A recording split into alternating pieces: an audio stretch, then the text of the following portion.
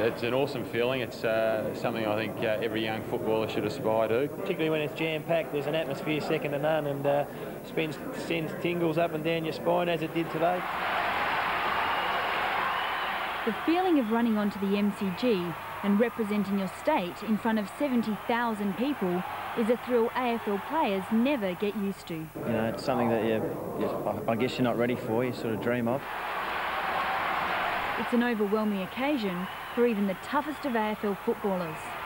Imagine then what it's like for two 10-year-olds with a lot less experience. You're feeling nice and relaxed, are you? Yeah. That's good.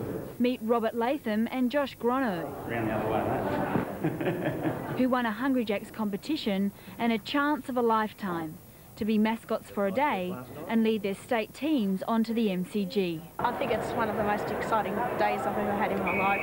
What do you think it's going to be like, Josh and Rob, um, running out in front of 70,000 people? Nervous.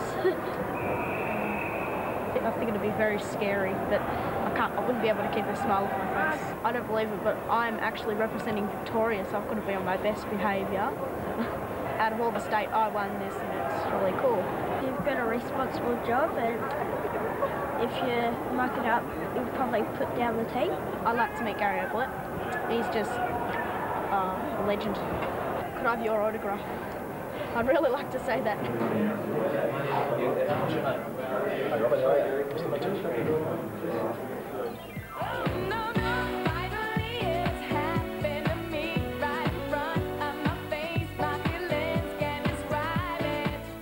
But before the thrill of